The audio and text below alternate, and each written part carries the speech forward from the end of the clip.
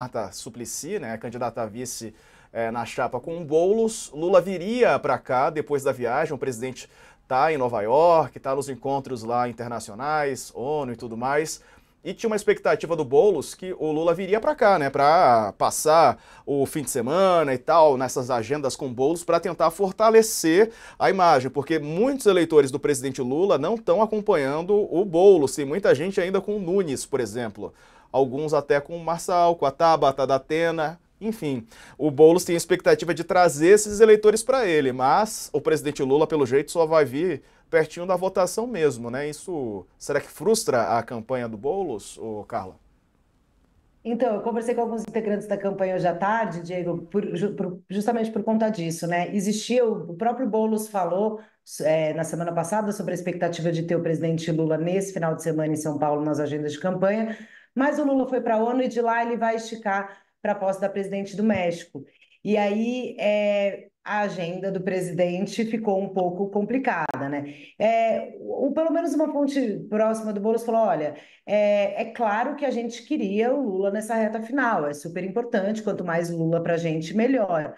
Mas a gente compreende que ele tem uma agenda de presidente, que ele já tem uma certa idade para fazer essas viagens longas, esses bate-voltas e com uma, uma série de compromissos, e ressaltou que ele vai estar. Tá é, na véspera né, da, da eleição, no dia 5 de outubro, ele deve estar tá na última agenda de campanha, ele deve estar tá com Boulos. E aí, Diego, é engraçado, porque daí o pessoal começa a falar, pô, o Boulos está frustrado, porque o Lula não vai vir esse fim de semana, é, tá chateado, tá bravo. Tem um, um monte de gente falando isso no entorno, principalmente aonde? No PT.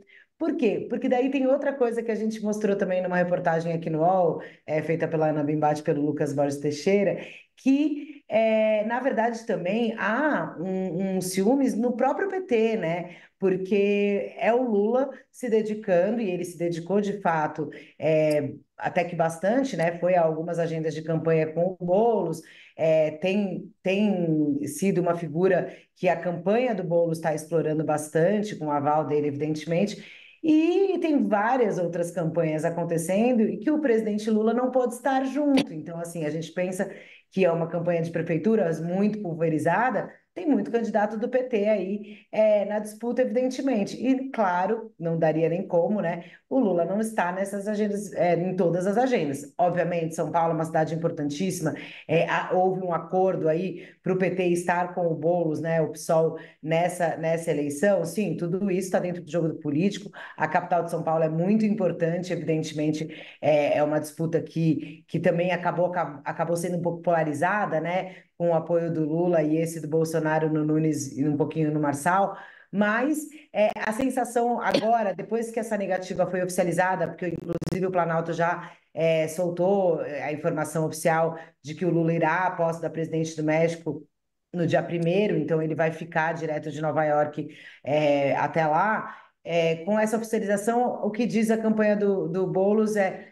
tudo bem, a gente queria mais Lula, mas vamos continuar e na reta final mesmo, na véspera ali, a gente vai ter ele aqui do nosso lado, isso que importa. Mas, claro, admitem que queriam um pouquinho mais do presidente esse fim de semana, que é, é um fim de semana intenso de, de campanha né, nessa reta final, mas não falta, terão. É. Falta muito pouco, muito pouco para a eleição. Diga lá, Raquel. Não, eu queria fazer uma observação sobre isso. Assim, uhum. é, isso aí é, é um revés importante para a campanha do Boulos, embora eles minimizem. Porque, assim, o Boulos é, não está garantido no segundo turno. Basta você olhar as pesquisas de intenção de voto. A gente tem essa sensação de que uma força de esquerda vai estar no segundo turno, que sempre esteve, o candidato sempre fala isso, né?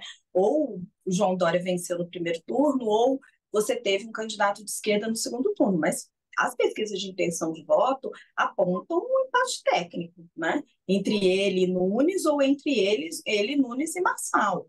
Então, assim, não é que a disputa está fácil, a disputa está complicada.